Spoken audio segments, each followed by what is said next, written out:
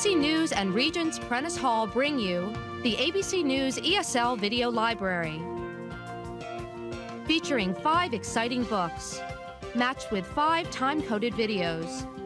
In a program that presents authentic communication in the context of vital, contemporary topics and issues affecting the global village for a task based approach to learning English.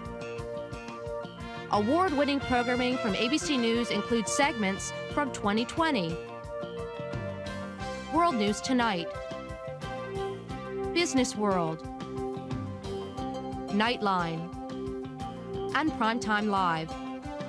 Let your ESL, EFL students experience the power of learning English through video. Take a look at the companies, the conflicts, and the issues affecting the way we work today. From ABC News, this is Business World with Sander Vanocur and Stephen Aug. Now from New York, here's Sander Vanocur. One likely impact of higher oil prices and more expensive travel prices is a possible downturn in the tourist industry. Just this week, Disney stock was buffeted in the wake of the news from the Middle East. As ABC News correspondent Ken Pruitt reports, the impact on tourism could make the competition even keener at the number one tourist destination in the U.S., where a mouse is king of the jungle and where tourists go to monkey around.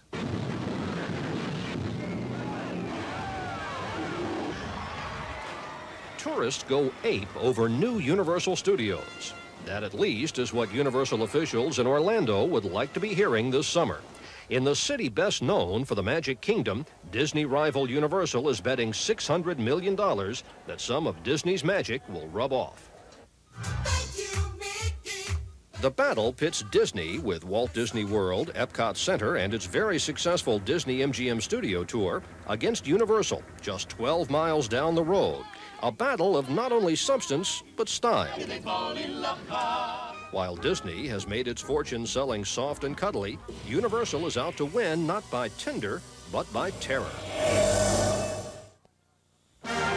Prime time from New York continues. Once again, Diane Sawyer. While we were in Moscow last week touring the Kremlin, we realized that we were about to witness a kind of cultural milestone. Six days from now, a new establishment will be open for business there, and as you'll see, open after years of negotiating, setbacks, and hope. It's a cultural milestone because we suspect the Soviets are about to learn what Westerners have known for years that political systems come, political systems go, but junk food is forever.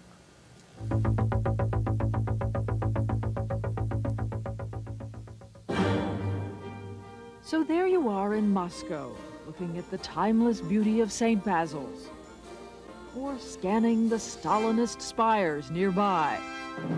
When, wait a minute, roll back that tape. Look there, in the corner. They're coming. No, they're here. Макдональды? Нет. Big Mac? No. Explore the people and the creations making an impact on our lives.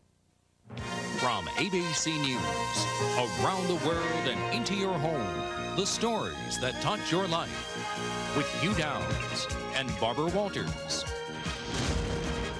This is 20/20. Tonight, the crisis in inner city schools. Kids dropping out, not learning anything. But now, a beacon of hope. Corporate America funding a school that's run like a business. hire quality people and leave them alone and don't handcuff them. Our principal knows that she either turns out a good student or we're going to fire her.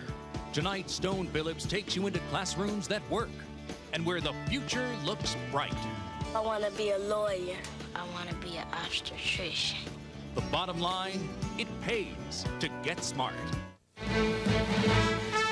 From ABC, this is World News Tonight with Peter Jennings. Finally, this week, our person of the week. It was her birthday which caught our attention. She is 96 years old today. And there is simply no question that she has secured her place in history. For she has created a permanent part of a national cultural heritage. She is a dancer. I only know this. You dance Because you have to.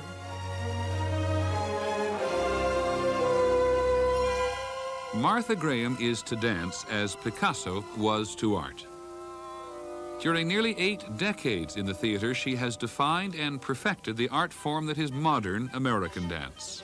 I would describe it as an attitude, an attitude toward the body, loving the body, exhibiting it, and uh, treasuring it. Her impact on modern dance throughout the world has been to give it a style which it never had before. For Martha Graham, performance is the ultimate expression.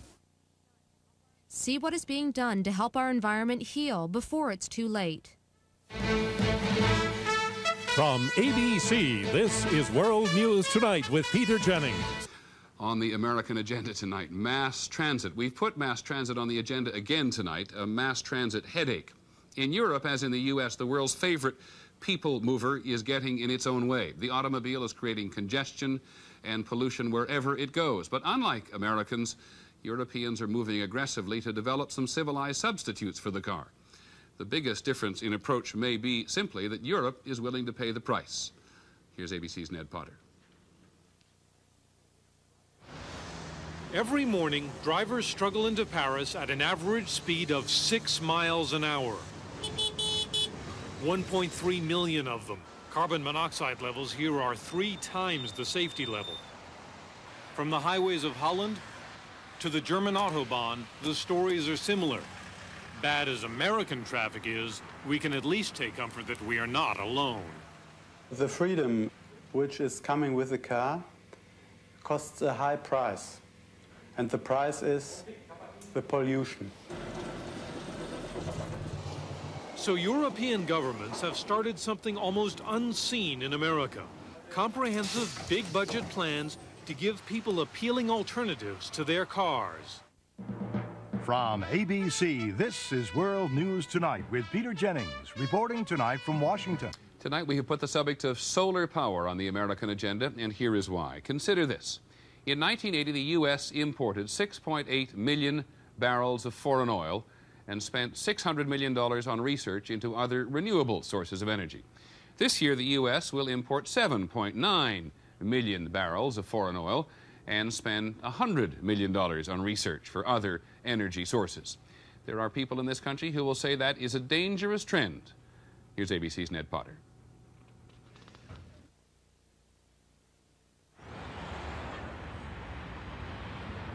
It's a hazy morning over Los Angeles. James Worden is trying to become the Henry Ford of the environmental age. And our message is that if we can cross the country 3,000 miles by solar power, that by golly, everyone can drive to work and back in a solar electric car. Worden set out from LA to Washington without a drop of gasoline. All his power comes from above, from sunlight, absorbed by that large flat panel on top and converted to electricity. Go beyond apple pie and baseball with an examination of the issues facing Americans today.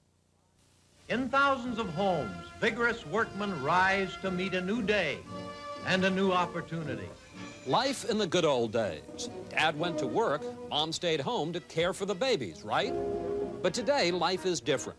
Frequently, both parents work, and many fathers must now juggle the demands of home and office. It's your child, and it makes, makes you think of your children first in the morning and last at night, and you sort of build in your work in between.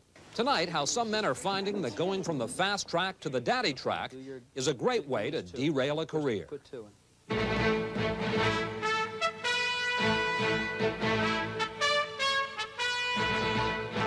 This is ABC News Nightline. Substituting for Ted Koppel reporting from Washington, Chris Wallace. It should be no surprise, but it's turning out that the revolution for women in our society has also become a revolution for men. Prime time from New York continues. Once again, Diane Sawyer. And now a small human drama, something that seems like life and death when you're in the middle of it. It occurred to us that this is the season when high school seniors all over the country are finishing up pouring their blood, sweat, and fears into college applications. Last spring, we decided to extend a helping hand and show how the admissions process really works. Jay Schadler followed three students, all trying to get into the same college, and he got permission to go where few have gone before behind closed doors, where the future of a child, maybe your child, is being decided.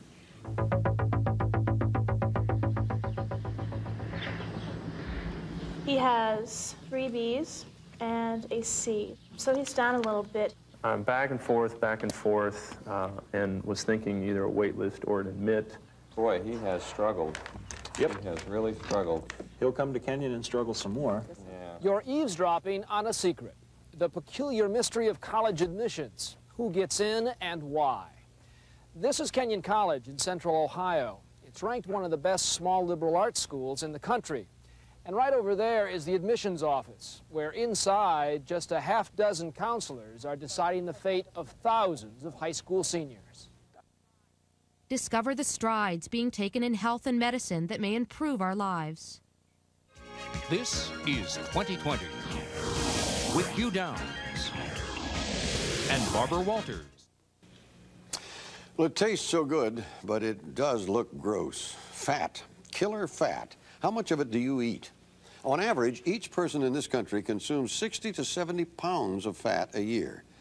But new knowledge has affected people's attitude toward fat.